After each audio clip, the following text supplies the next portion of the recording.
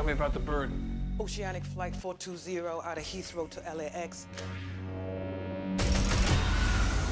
Do we know how many hijackers? Five. Do they have any demands? No. But we've been getting signal from our asset on board. What asset? Deep cover operative implanted with a transnational extremist cell. Show me your phones. Show me your phones.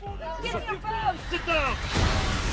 Pilot's been shot. Find me someone, a nurse, a doctor, anyone. Who's that woman with the pilot? She's keeping him alive.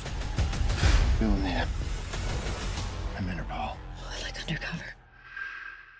Are you doing okay? Yeah. Come on.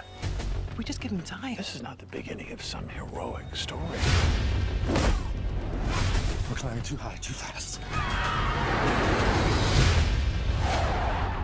In 10 minutes, our birds will be in a position to end this. What we do today is the beginning of their end.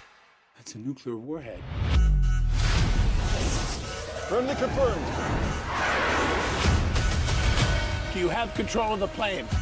We don't have enough fuel, sir. Can you really fly this thing? 97 minutes of fuel time remaining. Buckle up.